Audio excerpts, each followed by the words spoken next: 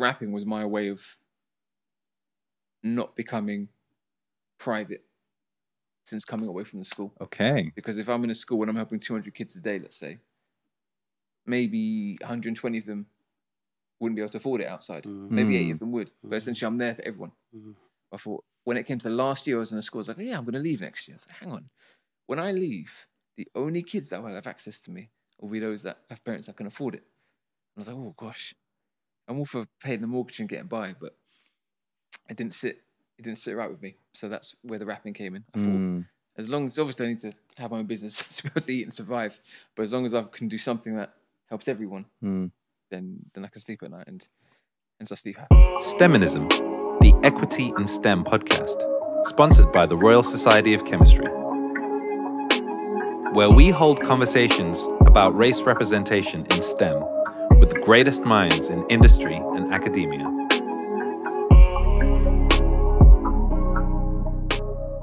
Hello, and welcome to STEMinism, the Equity in STEM podcast, where we hold engaging conversations about race representation in the realm of science, technology engineering, and mathematics.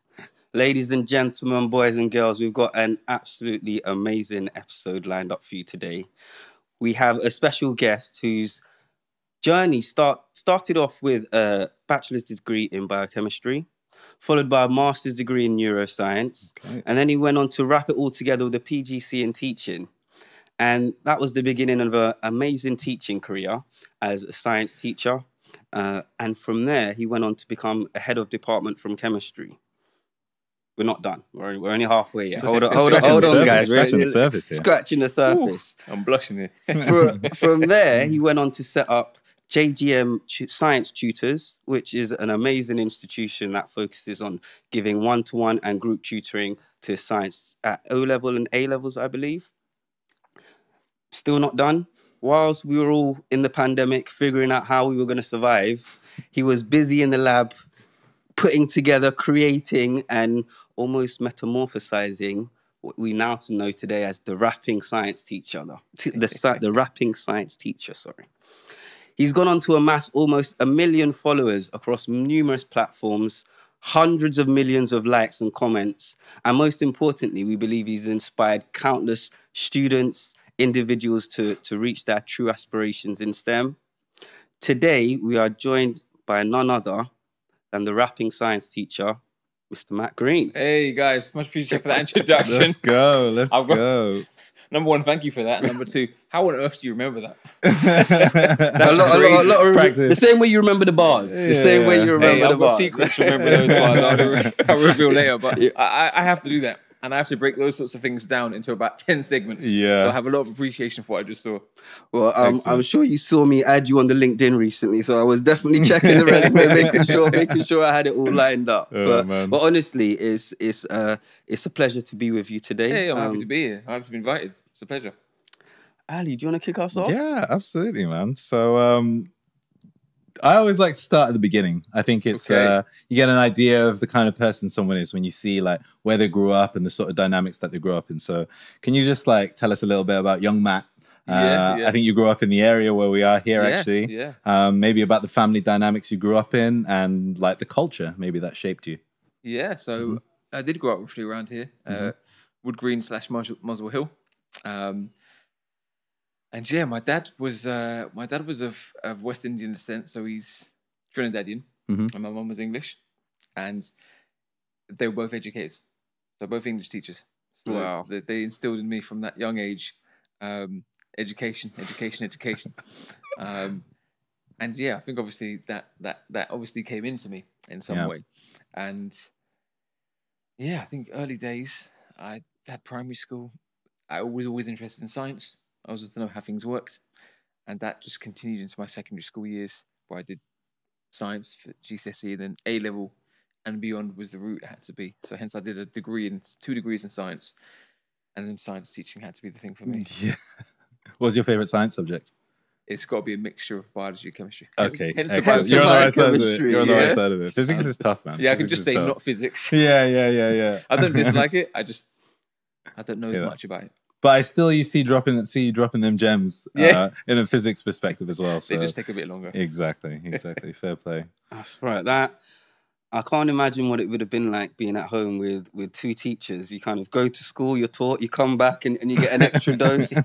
How did you? Were, were there any fundamental life lessons that you learned at that early stage um, that kind of got you that that passion for STEM, or was it a case of schoolwork, homework? There's there's it almost blends into one. Oh gosh, I think I think both my parents, but I mean, I can remember particularly my dad would would always ask me, like, sort of encourage me to question things, Mhm. um, and and yeah, how things worked. I remember growing up watching Tomorrow's World, loving Mm. Star Trek.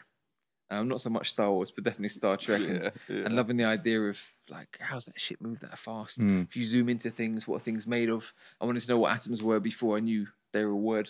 And then when I got to secondary school and I was taught, oh, these little things are called atoms, and I was like, what are they made of? And that was before I even knew about protons, neutrons, and electrons. And then I wanted to know what they were made of. So, um, yeah, that- Curious mind. yeah, curious always. mind. I think that's like a a common trait in science scientists, science teachers, yes. um, and generally across them. So yeah, nice to hear. That's really interesting. Was it the same for you guys? Absolutely, yeah. Yeah. I wanted to pick everything apart. Um, I was always destroying the latest gadget that my dad bought me until until he decided he was no longer going to do it. So I just kept kept destroying everything. But I really wanted to get to the bottom of of everything, like it was a mystery or something. yeah, Yeah. Okay. Okay. yeah, I think mine was was nature. I, I love being outside. I mean, we, but when we were young, we, be outside wasn't a thing. We were Mm. naturally outside all Yeah. the time and playing outside, climbing trees. That was yeah what got my passion. And I think from there it was like, okay, as you said, the lab. The lab's got some answers in there. When you when you go in there and you put some, you adjust certain things here and there, you, you get some interesting output. So Mm. I think that's where mine my curiosity stemmed from. Yeah. Okay. Okay. So I think you had a, a BSc in biochemistry, and then Yeah. you went on to do a master's in neuroscience. Yeah. right? Yeah. Yeah. That's Can it. you uh, can you talk to me about like what led you down that direction, and then how did you then go from there to decide I want to be a teacher? So I was always fascinated by how the brain worked. Uh-huh. So in biochemistry, we learn about you know the fundamentals of, of, of you know chemistry and how it interacts, how things chemicals interact in the body. But at one part of my lectures, it, we went into a little bit about the, the biology of various things, um, and therefore I became fascinated with how the brain worked. So when I finished my degree, and I thought, what am I going to do myself now? I saw a neuroscience thing come up at um, Imperial College. I thought, let me try my luck, and I got on it, and I loved that course. It was six months taught and then six months of project. Oh wow! Um, and yeah, it was great. I loved it. And I can't say how much I remember now, but the the research part in terms of expl- trying to work out what part of the brain processed movement Okay, um, and con- connected to the vestibular system. okay. Um, and yeah, that was that was really cool. Experimenting on volunteers and spinning them on a chair in the dark. Most of the time it worked well. Every now and again it would go haywire and spin them really fast. I'm, I'm sure all scientists are just about the crazy experiments, aren't they? Yeah, yeah, like, yeah. At the heart of it all, we just want to do fun things in a in a controlled way. That's it, that's That's funny. And then and then what about becoming a teacher from there? So when, when I finished that degree, um, I went into sales. Okay. Yeah, and I was bad at it.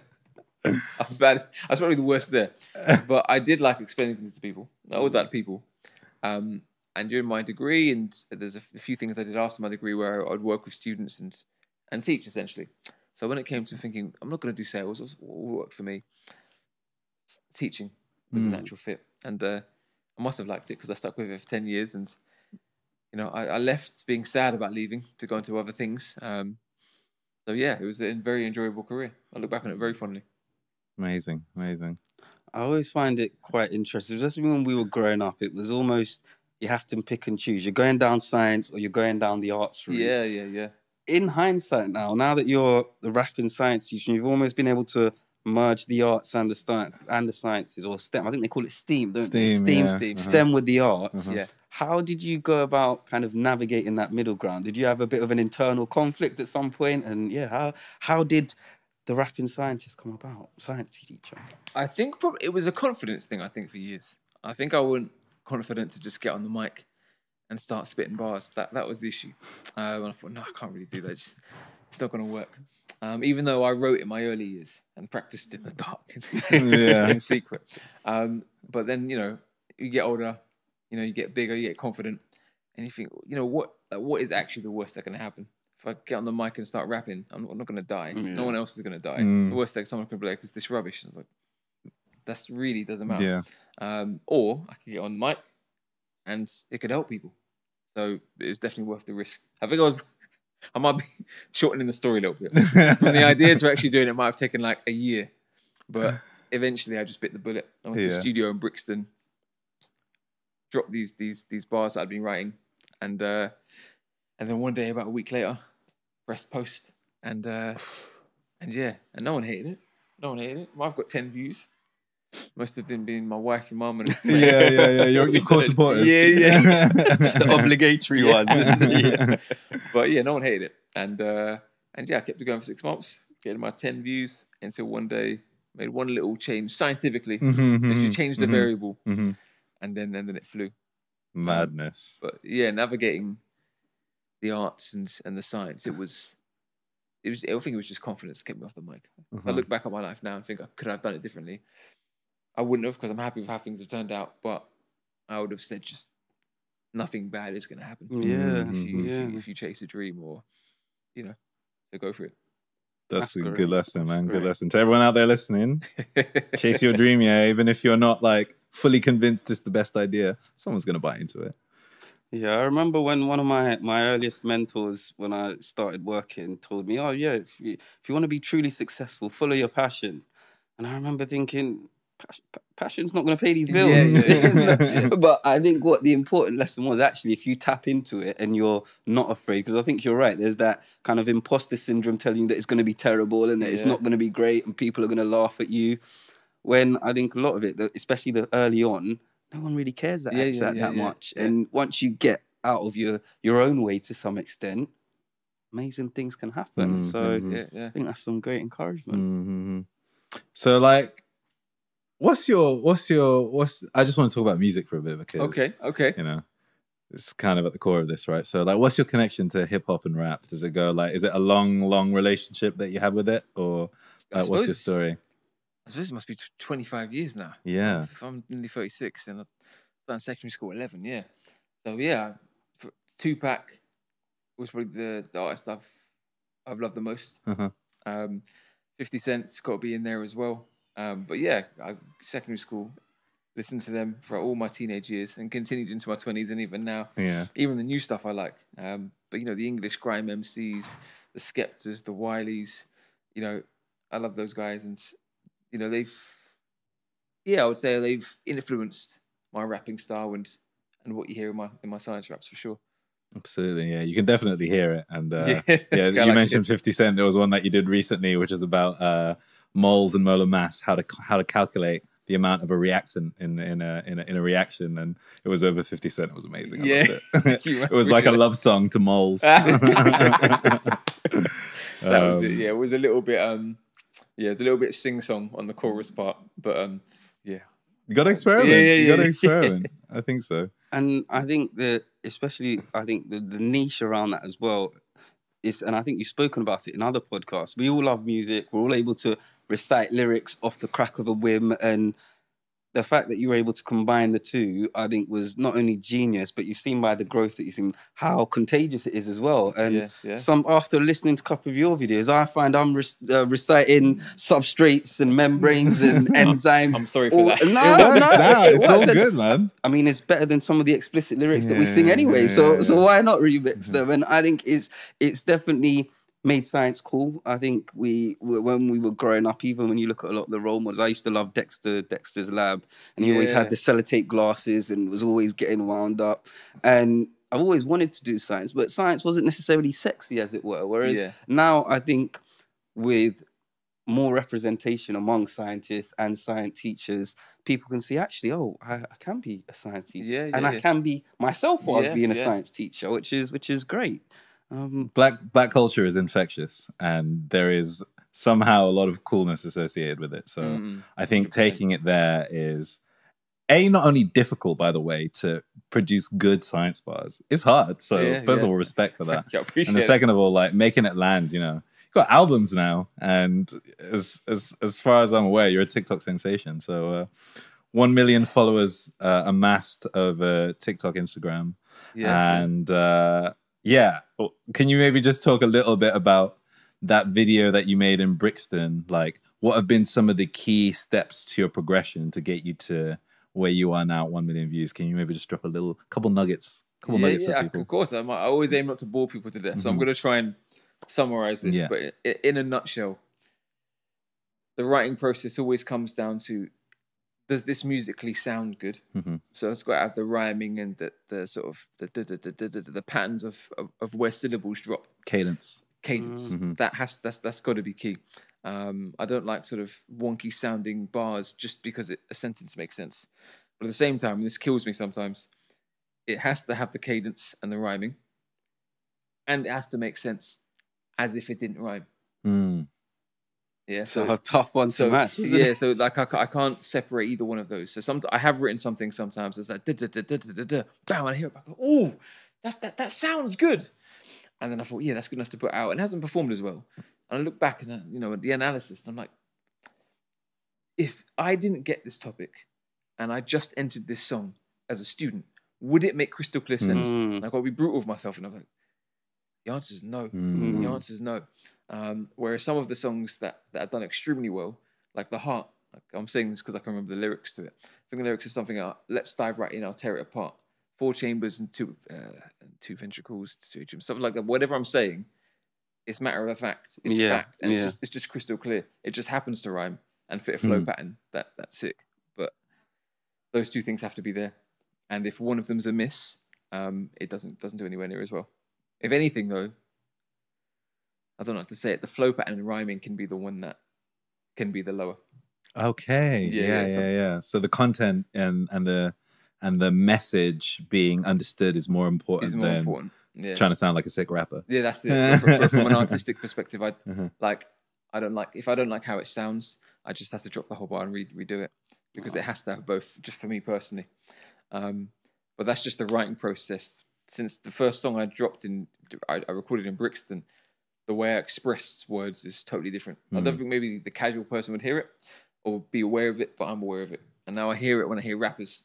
Like I didn't think much. I thought they were just talking and had a certain, flow pattern, um, but I didn't realize there's more than cadence. There's tones. There's intonation. There's emotion. There's little expressiveness. Mhm.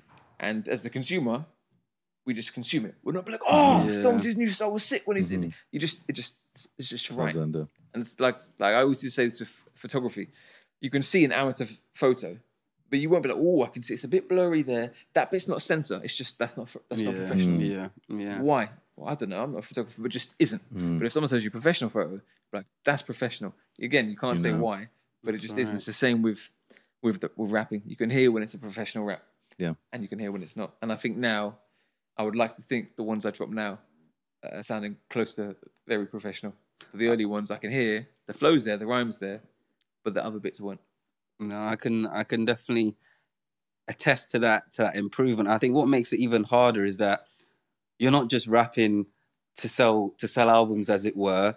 And so you can't even jump into the lane of the mumble rap, whereas humana, humana, Yeah, yeah, you're yeah. actually trying to make your words very clear so people can understand, learn, and take it from there. And I think that adds to the layer of complexity. So, yeah, I think sometimes people take it for face value when they watch a, a social media clip and it's gone viral and it's got all these views. But actually, there's so much experimentation, so much testing, Yeah, and yeah. so yeah, I, I think it's great that we can hopefully yeah give you some some recognition, some Mhm. appreciation for Thank that as well. Um, maybe switching lanes a bit and going back to your your teaching career. Um, we know that you started off as a science teacher, moved up to to the head of chemistry, I believe it was Yeah, in, in a couple of schools. What was the journey like in in in school or, or teaching in school? Um, were there many other teachers that looked like you? Did you have any challenges in representation or that regard? in the first school I worked at, I think I think representation, especially among black staff members, was probably higher than national average. I, I did a research thing because I thought I was going to do something for the news a few months back, so I, Hmm. I, I fact checked these things. Hmm. I think it's three percent Yeah. black in the UK, Yes. and in the school that, that I worked at, anecdotally, I can't be certain on this, but it definitely wasn't three percent. It was probably between ten and thirty percent Oh wow. Fair play. um, at least 10 because I was just literally looking at the staff members. I said there's 100 members of staff, though, definitely 10 Yeah. as a minimum, but probably, yeah, it could have been 25. But in the last school I worked at was at, out in Watford or Bushey. It was probably one, two. Put myself as half. probably fit the. if you round me up, that that puts it to three percent. I, Well, think. I don't know if people got that one. um, so yeah, so that that that was probably close to what what, what nationally was. Um, but yeah, it's it, it, it it's it's an interesting one. I don't think it ever affected me in any Mhm. way that I can measure. Yeah. Um, yeah. Uh, but yeah, it was. Remind me of the question here. The Like, question. So, in terms of what what was the experience like? Maybe going from one school where it was overrepresented, to maybe to some extent, to one where it was more at the national average. Did you have any challenges, um, or did you have any mentors or any exposure that helped you rise through the ranks in those times? I had mentors in my first school because I was started as a essentially as a TA, Mm. then did my training to become a teacher, then became something that was called um, a senior management associate. I think it was called. And then I became yeah. the mouthful now. Sometimes I think they just make up titles, man. These titles, honestly. At the time, I was oh, I'm a senior management associate. What does that mean? What does that mean? Yeah, yeah. now I'm like, it doesn't matter. But anyway, it helped me. So it was, it was good. Um, and then- so I became head of chemistry. Then I used that to get into the next school. And uh, and yeah, I think I had a revelation at some point going to the next school because I wanted to progress up the ranks. Um, but the way my brain works, I think I struggled. So I'm trying to work out like what actions could help career wise. Yeah. As a teacher, I'm trying to help the kids. That's my be all and end all. But it's almost like trying to run through hoops to jump up the next rungs in a career. Um, and it doesn't always make sense to me as to what you can do. Hence, I started my own business because that does make sense. You just work hard, get clients, get more money in, invest more, step up, and no one can tell you whether it's a good idea or not. You just fail at a few things and then change them. So hence, I went into the, the business, um, and then decided to peel back from the school Mhm. and then jump on this, um, which was my way. Essentially, the rap, the rapping was my way of not becoming private since coming away from the school. okay. Because if I'm in a school and I'm helping 200 kids a day, let's say, maybe 120 of them wouldn't be able to afford it outside. Mm. Maybe 80 Mm. of them would. But essentially, I'm there for everyone. Mhm. I thought when it came to the last year I was in the school, I was like, yeah, I'm going to leave next year. I was like, hang on. When I leave, the only kids that will have access to me will be those that have parents that can afford it. And I was like, oh gosh, I'm all for paying the mortgage and getting by, but it didn't sit. It didn't sit right with me. So that's where the rapping came in. I thought, Mm. as long as obviously I need to have my own business to be able to eat and survive, but as long as I can do something that helps everyone, Mm. Then then I can sleep at night and and so I sleep happy. Oh, You kind of reminded reminded me of like some of the issues with mentoring, where you have these like short one to one relationships with people, and it's really hard to scale it up because um, you know you're you're literally only speaking to one person. You, you're definitely giving them, them some game, but it's a really really cool approach that you've taken to try and like publicize this and get this to the masses. So um, Thank you. kudos to you. Thank you. Um, you mentioned your business, Yeah. yeah. JGM Science Tutors. That's it. That's it. Yeah. Can you uh, give us the marketing pitch? Um, what you do as your company, um, and like maybe what your vision is. and what makes them best in class as well? That's Mhm. that's what the people want to know. Mm. So, uh, in a nutshell, we market ourselves as a science specialist teaching agency. Initially started for doing one to one only, but now we do one to one group and corporate and in schools. So Okay. we've, we've diversified a little bit. And we've also diversified by not just doing science only. So we've got 90 tutors with us now, Wow. and probably around 50 of them, 50, 60 are pure science. We've got English, maths, languages, everything. Um, and yeah, our, our specialty is the fact that we only take on teachers that have been doing it for years. They've got to be reference checked, DBS checked, and they have to go by me in interview. So if I like someone's CV, like how they sound on the phone, I invite them to interview and I see what they're like. If I can see they're a people person, they can get on with, with parents. I can see that they like uh, young people, and I can see young people liking them. Then if they teach me a lesson, they've got that pizzazz and that flair, then then they can they'll be part of us. Um, and that recipes work quite well because it's the growth has been there, and our positive reviews. I think we're like 4.5 on Trustpilot and five stars on Facebook and five stars on Google. Um, And I think our worst reviews is four star. And I think in seven years Impressive. the number of complaints that we've had. The worst complaint we've had is someone not amazingly happy with their first lesson. Did you make them drop a 16 bars or something Uh, in the interview process? drop a 16 or you're not getting through.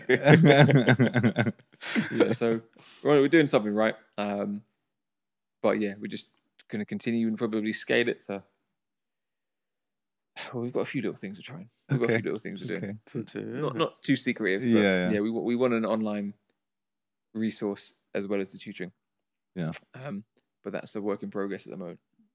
Fair play, man. Fair play. It's really, really amazing work. I'm like, I'm sold. Yeah. I'm like, send the kids over. I'm like, my kids too, so it's not ready yet. But Get them on the we'll see. list. Yeah, exactly. yeah, see, disclaimer. I said I used to be a terrible salesman. Uh, yeah, yeah, I, yeah. Then, I then worked on it. That's right. You're that's kind of right. selling when you speak to kids, to be honest, because kids don't want to hear it for the most part, especially between like 14 to 18. yeah, yeah, yeah. So I think you need to have a certain swagger and a certain pitch to be able to connect with um, students at that age. yeah, it's true. I Mhm. mean, so I mean, all sales is is is essentially communication. Connection. Yeah. Mm. Yeah. And I think you've touched on on the creative and, and the music side of piece. And I think we even touched on the fact that you've got a couple of videos lined up that you shoot and you're in the process or you're in that content creator process. How do you deal with with burnout or the overwhelming the overwhelmingness of, of being a content creator sometimes? And as you said, churning out video after video and some do great, others get two likes from your, your mom and the Yeah, neighbor yeah, down yeah. the road. How do you deal with that? How'd you got not like get your soul sucked by the algorithm? Because I feel like it wants it wants your blood, you Yeah. know, it wants your like at least your attention. Yeah. So It's how very do you true. navigate? Um, I think I've been quite lucky with with the avenue I've taken because I've basically got a curriculum to cover. That keeps me covered with content. So you know, there's a wealth of things that are in the UK GCSE science curriculum, and I'm just covering everything, everything in order. Well, I say in order, roundabout order. And I did see one of the, the questions that you sent me ahead of time. It talked about the creative process Mm. in terms of the beats and how they marry up with with the subject matter. And that's the reason why they're not in order. Sometimes, you know, a beat comes to me like a was it last week? One Dance by Drake. Mm. I put a thing out to kids. I rarely do this, but every now and again I was like, What what song would you like? And I looked through the list, I was like, nope, nope, nope. One mm-hmm. Dance Drake. Mm-hmm. I was like, One Dance by Drake. I was like, oh my god, I've never thought of that. And I played the instrumental straight away and I was like, and as it came to me, and it doesn't need to like I can't work prescriptively based on my next topic. I can't think, oh, yeah. I'm going to cover homeostasis. That has to fit to one dance. It has to be one dance, and it could be anything because my Mm. creativity is already hampered by the fact Mm. it's got to be science. Yeah. So therefore, Yeah. everything it needs to be an open plate. and eventually, something came to me, and I think it's pretty good. That should be coming next, no, this Friday actually. This So- One Dance was So- a big tune. Now, that's Yeah, a real yeah, summer yeah, vibes yeah, tune. So yeah. I'll, I'll be looking forward to that. um, and that's out of my comfort zone because you know that's that's a sung one. That's Yeah. that's- yeah, yeah, yeah, You got to deliver as well. People Yeah. want that from Yeah. like it's a Drake instrumental. They want that, you know. yeah, yeah. Fair Um, play. So yeah, you've sort of worked out how to play it to your advantage rather than feeling like you're spending all of your life on Instagram. That's it. And I, th- I think there were there, there were have been times, and there are still sometimes. You know, you you know some of these things take me 10, 20 hours to make, hmm um, and you have expectations, and I kind of think you have to have those expectations. Like, it, it, you, so you can't win in, in one way. I could sort of just put seven hours into it, be relaxed. If it, yeah, if it gets ten views, it gets ten views. If it gets a million, it gets a million. The problem is, if you don't gear yourself up mentally from the beginning of the creative process to do it in such a way that it can get a million, I, I think it's unlikely that it will. Yeah. Mm. Because there are all these nuances. When I'm writing, I'd be like, oh, could I? s- Yeah, it's good enough. When I'm filming something, yeah, it's good enough. And those good enoughs will add up and it'll just be mediocre. Mm. Whereas if Truth. it's. Where if it's agonizing, and sometimes, like, I think, you know, a funny, funny, I haven't mentioned this before, but one of the hardest songs to write was um, Kanye West's Runaway. Mm. That took hours. That literally took about eight hours just to write the lyrics because it was the whole. Does that sound good? No. Let me change it. Does that make sense? No. Let me. And that kept happening. Wake up, chuck those four bars away. Honestly, you know, that kept going because the whole idea is, I think this can be phenomenal. Yeah. And then yeah. shooting it, I re- I think I did this with a 50 Cent video for In the Club. Again, this was obsession. Came home, I filmed it, it took an hour. I was on a shoot at the time the next day, so I was doing my editing in the cab. It's like, I don't like this.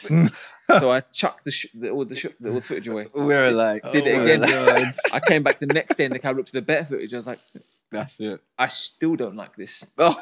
And I chucked it away again. And uh, and so therefore mentally I'm gearing myself up for it to hit a million. Mm. And when it doesn't, it can be disappointing. But in the instance of that in the club one, hit like two million immediately. Mm. Kanye West one got like ten thousand the first night, which is bad for me in terms of to be on a trajectory of, of mhm. goodness. But what I've noticed over time, what makes me feel a little bit better, is the algorithm is not always instant. Mm. Mhm. And from September in 2023, I noticed there's loads of things I'd put out. They would get 10k in the first day, and for me, 100k is a good evening from Yeah, Friday. So it's yeah. 10k. I'm a bit, you know, a bit upset about it. But then I wake up in the morning, it could be on 40, and then on Saturday it can start to creep up. Or sometimes I've had ones they stay on 10k for two weeks, Mhm. then they start to creep up. Mm. So what I try to do is put them out, Let it go. Let it and then, and then, and then let it go because Oh it my could be that it, it takes a process of a month, and it's a waste of time me being upset for 10k views on that first Friday Exactly. when in six weeks' time it'll be on half a million, and it was a waste of me being upset. So I just Yeah. put it out, and then whatever happens, happens. I've done my absolute best on it, and don't don't worry about how it does now. I love Yeah. that. Mm. Uh, Social I media mean, masterclass, yeah, man. that's I'm it, like, that's I need it. to summarize those nuggets. So, like, 10 to 20 hours, maybe it takes. Put in that time to make your content, post and drop. Don't spend too much of your time thinking about what it should have done, but also reflect and remember, like, how could have this been been, been better for next time? Mm, mm. So, that continuous kinda improvement. And Yeah. I think as Matt was talking, I could definitely relate. There's been times when we've literally been halfway through a podcast. And I've been like, Ali, now you, you got to start that again. I can see the red in your eye. Like, but when it comes out, it's a whole lot better. And I think it's that continuous improvement and that continuous drive, but also not being too harsh on yourself as well. So yeah, yeah. I think those are some real, real gems there Mm, mhm. Maybe I think you we, we recently saw you on on BBC Breakfast, which uh, again uh, we didn't add that actually. Yeah, TV yeah. TV sensation to go with the social media. man. Come on. How's it The been? reception. Yeah, how's it been? Um, re- re- kind of because I think social media is one thing, Mm. TV's a completely different ball game. How has it been transitioning from one to the other? Um, what has been the feedback when people hear that you're a teacher, but they also hear, yeah, actually you're you're, you're a rap artist as well? What's what's been the feedback been like? People always find it an interesting one because like the two don't naturally go together, which is why I put them together in the first place. um, so yeah, feedback's been good. The, the transition to TV, um, you know, it's been mainly from the help of, of, of my manager. So I've got a manager now, which is about I think almost a year ago. So I just managed to get on TV on my own, um, managed to, to get the attention of uh, of a few few other news outlets, and I was like, I think it's time for a manage, manager. Mhm. Um, I was lucky to get a very good one. Wendy Wolfson, talent and PR. Big up Wendy Wilson. Yeah. Big up, Wendy. and uh, Hi Ross, we might yeah, we, we want to be on TV too. um, but yeah, it's it's it's, it's interesting TV because it's it's it's a totally different platform. Um, sort of more long form content, and you just automatically reach millions. Um, and you reach an audience you wouldn't reach ordinarily. Mm. Um, I enjoy it. I think I, I still get like sort of sort of semi sick with nerves every time, but like I always think of everything. I, I felt that at the beginning of rapping. I felt that at the beginning of teaching. yeah. I kind of feel like any growth, any ne- next level improvement, that has to happen. If you get to the point where it's not happening with anything, then I think Mm. you pro- you're probably not getting to the next point. Agree. Agree. Yeah. yeah, yeah. I got to hit you with a controversial one. Hey, Maybe. depends how controversial.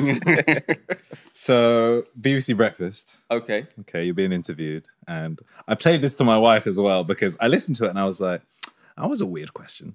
I played it to my wife and she thought the exact same thing. I So I'm really want to hear this because I, I have an idea in my mind what you're going to say. But okay. So she said, uh, she said, what kind of assurances have you got in place to make sure your videos are safe for children? And I was like, what? Hmm. What does that mean? like, I was like, is this a su- subtle dig about like hip hop, grime, and rap culture being like, you know, how they labeled grime as like urban, Yeah, yeah. and then yeah, like yeah. stop people going to clubs for this reason because you know what happens in these urban clubs. Yeah, yeah, yeah. Um, do you get the question? And just wondered if you had any comments about like, what did you think when you heard that? Did you think that that's what she was asking you? when she fir- because I had the context in my mind because I had been briefed on it's all to do with um it was to do with AI nonsense. Mm. Okay. So the whole a whole news article was about kids going online and seeing something that's really professionally made, that's made by AI, and saying the pyramids of Egypt were built in space. Um, that's why they did it. But it said like absolute fact. Yeah. And all da, da, da, and it's produced and kids watch this and they played it to kids and the kids were like they asked them, is this like what do you think of this? Like, oh really interesting, I didn't know that. like one in ten was like that that's not true. But they, were, they didn't give them any context and they were just like, I didn't know that. And they're worried about kids do this. They brought me in on as an expert. I don't know what they brought me in on, but they brought me in to, you know, and from an educating perspective Yeah. standpoint. Yeah. Um, so uh, what her question was about the assurances on on my. I think she minced her question personally, Mhm, mhm. um, because it, when it became personal, like like what assurance do I take? Like I was like, don't get flustered on air. First thing, Yeah. yeah. number two, don't get angry on it. just answer what you think with a smile. And I don't think I don't think I asked her again what the question was. I Uh-huh. think I just thought, ah, just go straight into what you think is the answer with confidence, and Yeah. hopefully anyone watching will think, oh, he must he must know what he's doing. Um, and yeah, I think I answered. I think I said, yeah, my assurances are I checked three resources. yeah. Da, da, da, da. I thought I gave a good answer. Very good answer. But when she responded to it, I um I feel that she didn't ask the question she wanted to Yeah. ask because she went, let's go to someone else. yeah, yeah, yeah, exactly. so when I was there, it was a, it was a funny experience for me because it, it was my first experience not being face to face and not having a video. So Okay. obviously, what we're doing right now We the best format. Yeah. Mhm. yeah. You know, second to that would be us through a good internet connection, but we Mhm. can see and hear each other, right? Yeah. And it, on TV, I've done literally all formats, but that particular format was I can hear you in my ear very badly. I can't see you because I can't look at the camera. So all I could look down was the camera and hear in my ear, and I couldn't hear well. Crazy. couldn't yeah. hear well at all. Interesting. So I heard the question, tried to answer as well as I could, and uh, I just did my best to, to try and react Yeah. accordingly. But yeah, a few people mentioned that they said, um, you know, like because when I came off it, I was, I was panicking a little bit. I thought she was asking me what two plus two was, and I thought she said I heard what's five plus five. Yeah, So I'm like, yeah, it's yeah. ten. Let's go to someone who that can answer this properly. And I was like, I'm just just yeah. just stay cool. You did it right. You did it right. But part of me was just like, you just did not answer what she asked. And when I played it back, I was like, no, I did. I did. I just think she meant something else. But she might have been what, you, what you're saying. I didn't think about it that way until now. I was like, there's something, there's something in this. que- She was a black woman, though. I'm pretty sure, if I remember correctly. So I think it's Na- I don't know, Naga. Is maybe. Naga? Yeah. I can't remember, but yeah, there was. I was a little bit like, hmm, that's a that's a very curious question that you just asked. So. yeah. anyway, good good diplomatic answer. I think you handled it very well. Thank you. Um, Thank you. Yeah, I think it shows the the challenges of, of being on TV as well. Mhm. Again, people think, yeah, you just rock up and, and you're there on TV. It's actually quite difficult, isn't it? Yeah. Especially with the different scenarios. Mhm. And um, maybe yeah, we'll switch tact a bit and we'll talk a bit about um, awarding gaps. So we we I think we recently spoke Mhm. to Professor Joma Achigbe, um, who spoke about awarding gaps in universities and the kind of difficulties that it brings with I think you mentioned, for example, with Asian and or with Chinese and Indian students at um, secondary school level, they achieve higher than I've everyone else, something like this. Mhm. and then they yeah. get to university, and then almost all of that advan- um, advantage they have is nullified by the university experience. Mhm. And again, with Black people, highly underrepresented um, at the undergraduate level, and then it gets even worse from Dips. there. Mhm. Yeah. Yeah. So, um, is there is there anything similar you see in the schools, or anything since you've you've been teaching, or your experience in terms of awarding gaps, or in terms of how students are perceived? I know things like predicted grades that have impact on on people's progression going forward. Um, I don't know if you have any thoughts on that.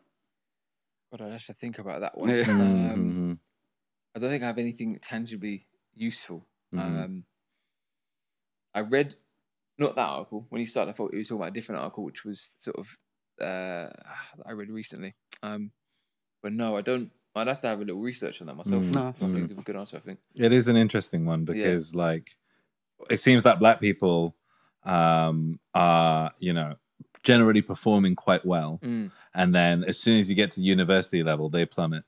And then uh, people from white demographics are generally performing averagely, Yeah. and then they suddenly take over everyone: the Chinese, the Indians, the you know the these people, these other groups who were like Yeah. performing Yeah. really, really well at Key Stage Three and and and, and high school. So yeah, definitely check it out. It's an interesting one to Yeah. explore. Yeah. Um, but I, I, I don't accept that it's just because black people are less smart than, No, than these no, other no, demographics. There's Yeah. maybe something there under the surface. But Yeah. yeah, I guess if you haven't It's seen like getting to, to it, to what it is. Like when any of these things, Mhm. like I always remember one of the lectures I went to was I, I've always I love this this fact. It was to do with um getting to causality, like what you're saying with with, with this. Why is it that black kids are getting to uni in dribble? What, what, what's the reason? Don't know what it is. Obviously, we need to get to the bottom of it. Um, but the first lecture, that sort of idea came to me, or I, I, the way they explained it was um was in countries where more people drive Ferraris, more people are getting cancer. Mm. And I mhm, think you dropped that thing, it's just like what? It's like if you can chart the countries by the number of people that drive Ferraris per ten thousand, the more that number goes up, the more people have cancer. Mm. So are the Ferraris causing cancer? It's a good point. suppose- uh, no, they can't. But, well, I mean, if, if, if they go up and the cancer goes up, Proportional, yeah, proportionally, yeah, yeah. yeah. And then this thing is like, no, if more people can afford Ferraris, then it's a, uh, a more first world nation. It's more first world nation. People are living longer. They're not dying from other things. Mhm, Therefore, exactly. cancer. Mhm. Yeah. Another one Mm. was was uh, was neat. Like where where do mo- more, more shark attacks happen? People mostly die like in knee high of water or something. Like what? Never that's because you got more people. Yeah, That yeah, yeah, yeah, yeah. So it's not that you're likely for that to happen, but you've got like 99.9% of people in the water are in that. The water, yeah. exactly, exactly. Um, different perspectives. Yeah. yeah, yeah, yeah. Seeing things from different perspectives. Oh, sorry, I that's went off on a tangent No, there. no, I No, liked no, I rightly liked it. There was definitely a a, a a- a correlation point in there. Yeah, Like I could see what you yeah. the connection that you were trying to make. And I Um, think that so that report initially came from the Royal Society of Chemistry. I know you, you did some, you've done some work yeah, with them yeah. around Mhm. science experiments and, and kicks and bringing that visibility. Can you just tell us a bit about that project? Yeah, that was back in I think November, so about six months ago. They've got some videos that are coming out to help um, science teachers in the classroom. So science teachers can subscribe; they get a membership through their schools, and then they can use those videos to help show the class how to do a practical. So the whole idea was to make it as accessible and simple to understand as possible. So no rapping, but using the logic of it's not written like a rap, but it's written cleanly and easy to understand. You know, so you take this, you take that, this is this, you put them together, this is what happens, etc. Because um, sometimes you, you you know the, the way they're written, it's in black and white, fairly easy to follow if if you've been doing science for years. But if you're a kid, it can just be a little bit overwhelming, and the videos just make it that much easier to Mm. clearly explain and nice popping visuals. mm, Yeah, Mm. yeah. And again, I think it ties in really well with how you're trying to help everyone pay the bills on one on one hand, but also make sure that science is accessible for everyone. And yeah, yeah. those especially I remember in the in the pandemic, me and my daughter started doing these little um, science experiments that they send to you home, and they were like little boxes of experiments. Yeah, I know the ones. Yeah, Yeah, yeah, but they became I think it was MEL science, or science, something like yeah, that. yeah, Exactly, yeah, and you could We do some of them. science. Exactly, Yeah. you could bring science home, and I think that's when the creativity really comes. Sometimes in a forced lab environment, etc., it's not always natural, but when you've got the opportunity to bring science home and it's accessible and it's free, as you said, it's it's really rewarding. So yeah, yeah. um, I think it's it's amazing how you're finding so many different avenues Mm. to make science attractive, as it were. It's not just from a teacher. You've gone from teaching to tutoring to rapping to um, videos and TV, and science is at the core of it. So I think Mhm. it's it's really great work that you're doing. I appreciate that. I think you're like doing really well at reaching like a black demographic, which is really important because straight up facts they are underrepresented. Mm, you know, yeah, yeah, yeah. Uh, and I think um, having different identities, people who look different, and uh, different and styles to aspire to will actually maintain long term longevity. So yeah. um, big Yeah. up. But the result of it is that you're like actually famous now, like like you're legit famous. So um, I wanted to ask, like, how do you find the balance between like that and like your family life? I know you got three kids. Yeah, yeah, yeah. Um, Fa- is um, it hard to like bring?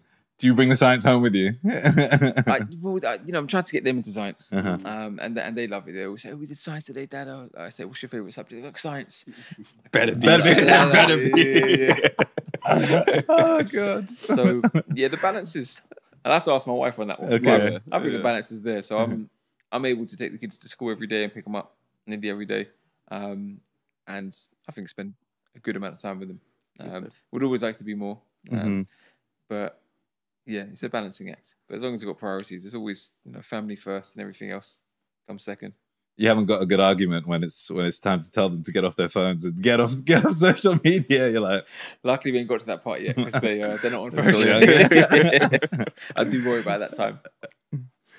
So, what would you say is your your proudest achievement? I think we saw you on The Voice with with Will I Am, which is a oh yeah, pretty pretty big deal. Yeah, but I yeah, think- Smash that button as Yeah, well. yeah, I know. I know. In, in Smashed as well. it. He was like, yeah. the, the curiosity definitely got the better of him. What was that experience like? And are, Oh, are there that's any other achievements that you can say? Yeah, you know what? If I, if I go today, that that was worth. it.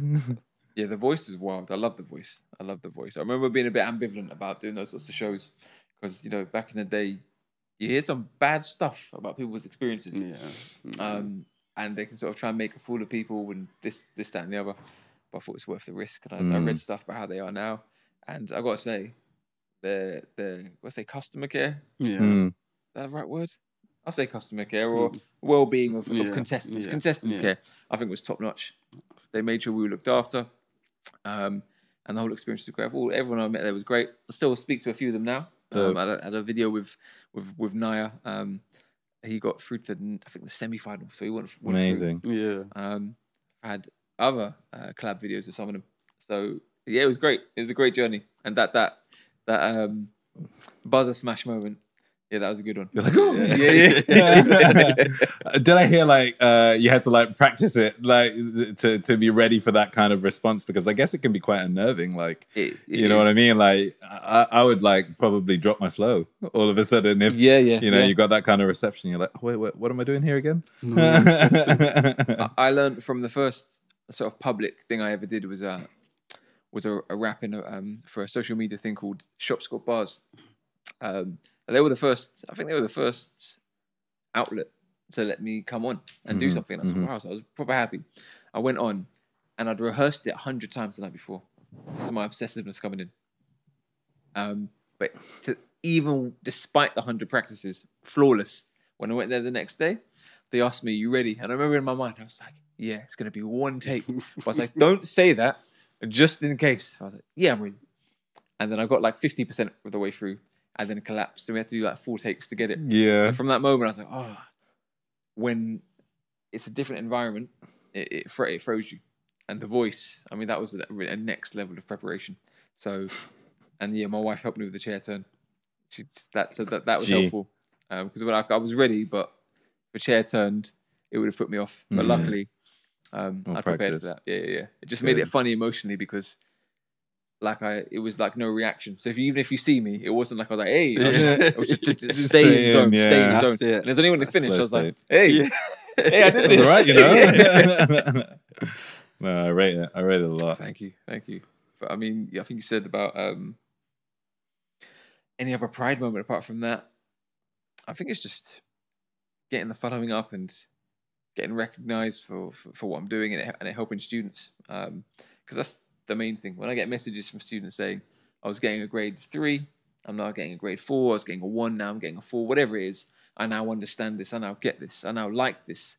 Um, that's that's the point of pride for me. If those messages stop, then then I know I need to I need to fix up. But as long as I get those, then I'm I mean I'm proud of myself and what I'm doing. Dope. You should be. You should Thank be because it's amazing work.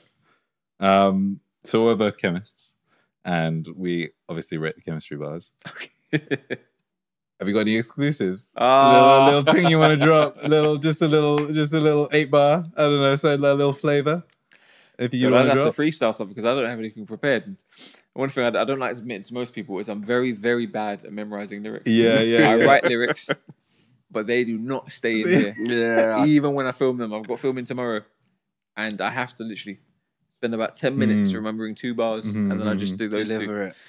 So unfortunately, I don't think Okay. I'm, I'm gonna have anything good for you. if you want to pass, maybe tell me about like, uh, like one or two of your favorite videos that you've made so far. Like, favorite videos I've made. yeah, yeah. Um, do you know what? One of my favorite videos was was me and my wife went to film um, at my old athletics track, and it was her idea on the day. I was like, "Ram, we've got to do um, metabolism. I think we were doing. Mm. I was like, oh, aerobic respiration, and I was like, oh, should we go to the park and do it? I don't want to do it in the white wall. It just feels we need something that's more about movement. Mm. And she's like, why don't you go to athletics track? I was like, I'm gonna argue with it. Was like, Mm. that's a good idea. Brilliant. That's, that's a that's a good idea. yeah. So we went there, and uh, yeah, she's very into fitness and she's very into running. So it's I quite enjoyed that, just because it was just on the whim, Yeah. and the weather was beautiful outside. It was cold, but it looked beautiful. So it was a good shot. Went there. It's nice to go back to some a place I hadn't been to for twenty years, and then we ended up doing some exercise there, and yeah, that was that was a nice experience. And even you know what, there was another one with my friends, um, and uh, I probably shouldn't say this one because the the, the, the quality of the production was very low. At the time, I thought it was amazing. It was a, we did a Ghostbusters remake, and that that that was hella fun to do that. I had all my friends; they were just mucking around, just shooting each other with these guns, and uh, I thought it was a masterpiece the day after. And almost every video I look I I made back then, I look at, and I said, you know what, this is quite good. I haven't got to that cringe part, or but I look at that, I'm like. I've either got really good friends or really bad friends because they knew that it was terrible, but they, they, they wanted to It is, uh, they just bigged you yeah. Some day ones. Yeah. um, but yeah, so it's kind of when, when I've got like my nearest and dearest to me, those are the videos I tend to enjoy the most, and that's why I mentioned those two. Love that. Love that. Thank you. Thank you for sharing. And No, uh. I'll follow you up for that exclusive. A different day. Well, you you actually dropped some bars as well, so I think we're gonna have to come back and and figure out a way to yeah, to, to bring the two of I've you got chemistry together. bars. I've got a couple yeah. chemistry bars here and there, dying about in the folder. Okay. Shall we go to a quick quick? yeah, round? yeah. If it's okay with you, we're but we're basically done. But we just want to hit you with a couple of quick fire questions. yeah, sure. Um, just to just to wrap up on a little bit of a, a casual level, if that's Okay. cool. So start off with favorite food. God, I'm gonna be the worst in this round. I just realised how quick everyone knows. My Quick. friends, are- anything that's important in the question, I'm slow at. Um, That's all right. probably chicken korma. Mm. Dope, dope, dope. Okay, fair play. Um, favorite uh artist. Tupac. Excellent. Trying to make up on the previous Yeah, question. I was I was gonna say genre, but I was like, it's probably covered. Two way. Next one's a tricky one. Favorite quote or expression, if you've got one. or a If not- verse. Okay, I've got a quote. Yeah. I've got a quote. Don't put me on verses. the second there's pressure, the lyrics just disintegrate. The verse. This one comes from my from my dad. This one. He was said, um, "If you uh, if you worry, it will happen. Mm. If you don't worry, it will happen anyway. So so why worry? What does Why worry? I love that. I feel like I've, I I've stuck that. to that less and less as time's gone on, and if kids kids have arrived. Yeah, yeah. Big up pops for that Yeah, one yeah. because yeah, That's the a- that's a worrying nugget. Yeah. It doesn't change whether it's going to happen. Mm. or Yeah, not, yeah, does yeah. it? Yeah. Favorite uh hobby or pastime or activity that you like to get up Oh, on the it's real weekend? boring now. It's just gym. Yeah, yeah, Yeah, yeah. there's no time for sports. Fitness just- first. yeah. Favorite icon or hero? Icon or hero? God, I mean, that's, I guess you you are one now, so it's, it's kind of difficult. You, you can pass. He's like, if guys, guys, guys, come on. that's, that's a difficult one. You come back to Yeah, that one, pass it, maybe. man. Pass Yeah. it, pass it. Dream location. If you could be anywhere in the world for a holiday relocation, where where would you be? Oh, it's got to be Caribbean. Yeah. Probably Cuba. Any any island really. Um, yeah.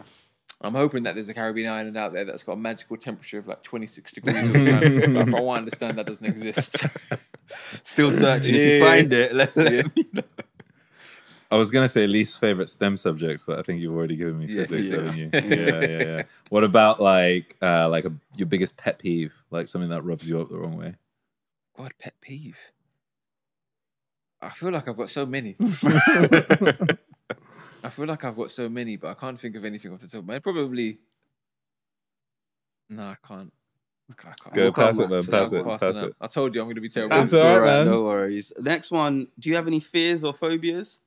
Anything? I do actually. I have a really weird phobia. What? I'm not sure whether I should say this. How PG is it? Uh, what? How PG is it? Is it? Is oh, it it's P- PG. PG, okay. yeah, yeah, it's fully PG. Ali's is clown, so it can't, it can't be worse than that. Okay, all right. My my one is um is close-ups of insects' faces. Oh, they used to. I, so you must have really struggled with those Wow. textbooks then of like there's Honest the, to God, the tarantula, cockroach. yeah. Sometimes I close it or I put something on it.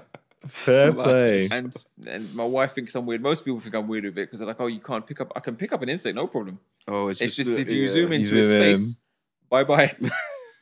That's so interesting. Um, I don't know where it came from. I don't know why it's there. I don't know why like people can be afraid of spiders and I'll pick up the spider. Mm. But if as I was holding it, you had a you literally was like Micro- Zoomed in. Microphone glass.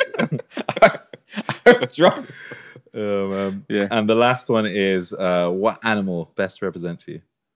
Oh, I'd like to say a lion because of the size thing, you know. But no, Yeah, yeah, yeah, yeah, yeah. yeah, I, like- I've always like I like lions. I, I used to like mice when I was younger, but lions I like now. From lions to mice. Wow. Most the lions. Mice are lions. Interesting. interesting. Well, thank you, man. This has been Thank this you. has been for having me epic. It's been a good Yes. joke, and uh, really, really nice to get your perspective on some of these points that we're trying to discuss. I think Pleasure. you're doing amazing work. I'm sure you're going to continue to do the same degree of amazing work. Everyone, go follow Matt Green on every single platform that you can see. What's the handle? Mattgreen.jgm. Boom. Love it. Um, yeah, so much amazing content to be shared if you're in high school or even earlier. Um, you will have a lot to learn. So definitely be sure to check him out and uh, support the team. Thank you very much. Special gift from our sponsors at the Motherland Market for you Oh. there. Thank you very much.